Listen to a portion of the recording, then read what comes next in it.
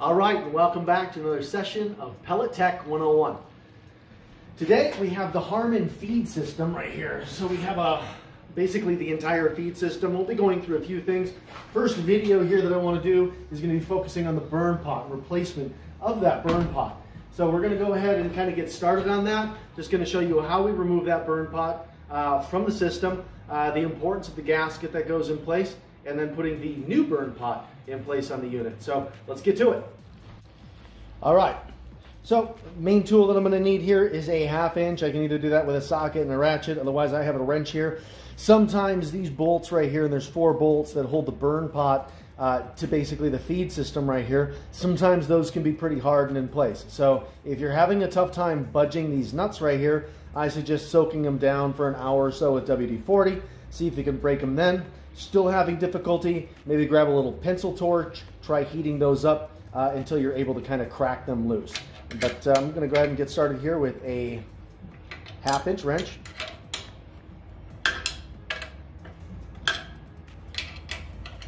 And we just have two on either side.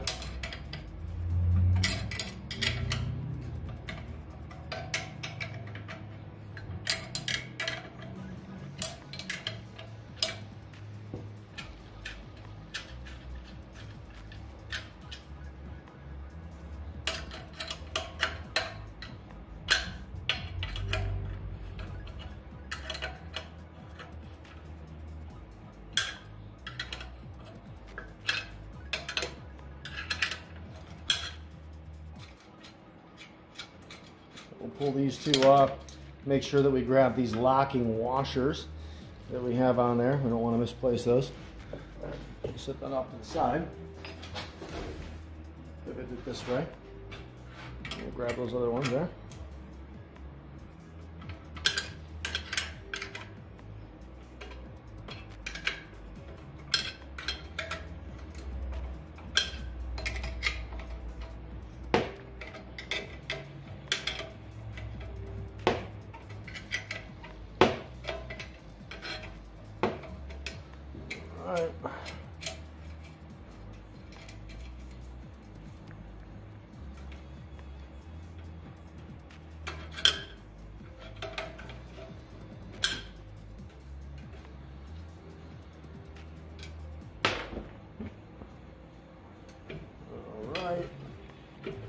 Burn pot's going to kind of move forward a little bit as you're taking off those final nuts there. At this point, our burn pot assembly will come off. Now, it's only coming out this far. And the reason is, is because I have our igniter yet in place. So again, we have these uh, two wing nut openings right here on the front end of the fire pot where our igniter is going to be located. I'm just going to reposition the video a little bit. We're going to loosen the igniter right here. We're going to disconnect the wires from the back so we can fully pull this burn pot right out. All right, so there's a little zip tie in the back that was keeping these wires taut, our blue and our yellow for our igniter wires. So I've gone ahead and I have snipped that little zip tie and I've been able to kind of pull these wires a little bit from the front so that we can go ahead and disconnect our igniter element. Sometimes these are tight and we may need a pliers as we uh, wiggle these out. And from there, we just have two 5 16 bolts. They're holding the igniter and the cradle cage inside of that burn pot opening. This one's being a little, little stubborn, but we'll get it. All right. Now our igniter wires are removed right here. Our burn pot is fully out of the unit. So again, uh, over time, if we're noticing anything where we have any kind of, uh, you know, warpage, breakage, anything like that with a burn pot, uh, we're definitely going to have you know some noticeable issues with the fire and the efficiency of the fire, maybe the uh, uh, the overall function and so forth of the ignition element that's in there. So important that we're regularly cleaning, scraping this burn pot.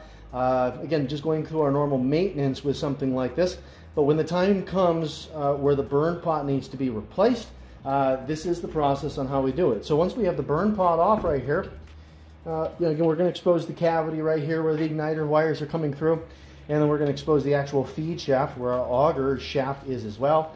And then again, this is the mounting or the docking gasket uh, that is going to go between the frame right here and the burn pot. This is a very important gasket to replace anytime that we remove the burn pot.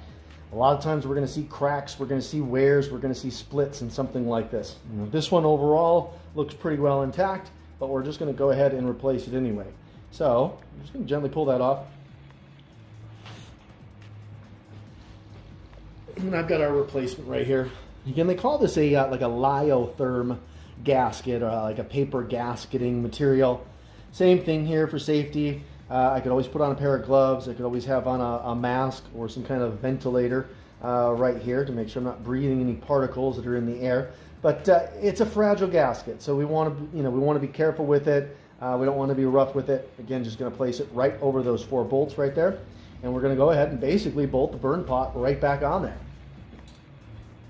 So I'm going to first go ahead and uh, and reconnect these wires. Obviously for the video here, I'm using the same burn pot that I just took off.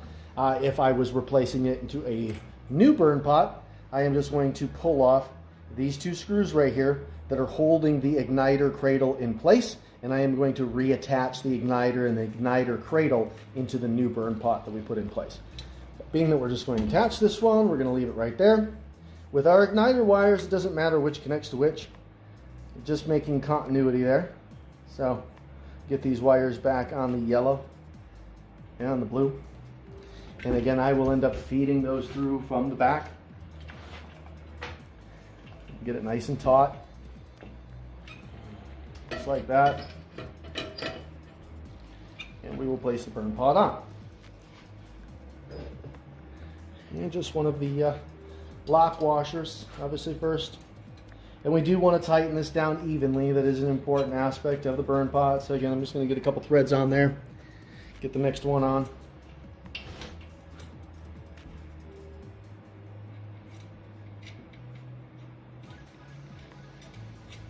And again, as you're working with this on the inside of the firebox, you know, great to have some magnetic lights. Again, a lot of it is uh, having the right tools and having the right amount of light so you're actually able to see what you're doing. And like I said, sometimes these nuts can be uh, can be a, a bear to get off. So if that's the case, soak them down a little bit first with some lubricant. Still having some struggles, hit them with like a pencil torch, heat them up a little bit until you're able to get those cracked. Other than that, pretty straightforward on the replacement of a uh, Harman burn pot. And again, uh, having that gasket properly in place right there and uh, the elements on our igniter. So now that I have those hand tightened, I'm just going to go ahead and get these snug down. Same thing, kind of like a car tire here, I am going to get these just kind of snugged. I'm going to do them in opposites or, or diagonals.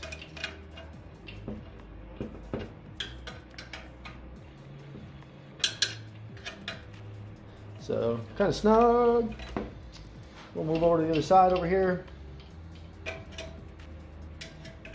And get this one nice and snugged up. And that's about snug. We'll go into the opposite corners here.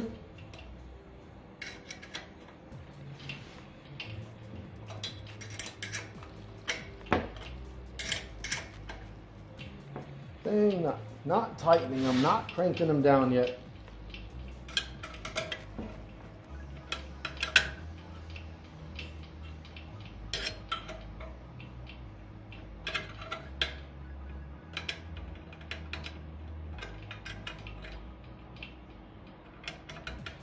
Alright, like that. Now I can go ahead and really tighten them up. And with the burn pot right here, you do want to have nice and tight.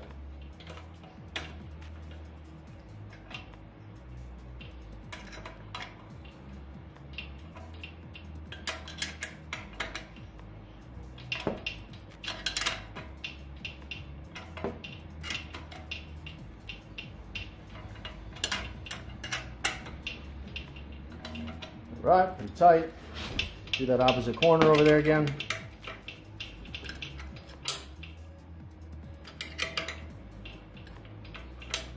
Again, still not wrenching them down. Just getting them uh, a little bit, uh, a little bit tighter there.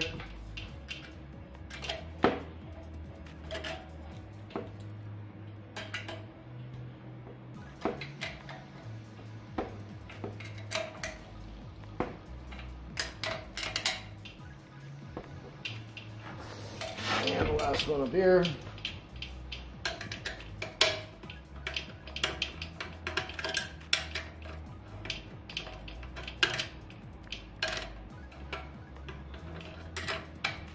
All right, we did a nice job evenly tightening that burn pot down. Nice seal of that gasket all the way through to the actual uh, auger throat right there. So at this point, I'm just gonna give them one last little, one last little crank. I don't need to torque them in or anything like that, but we do want this tight.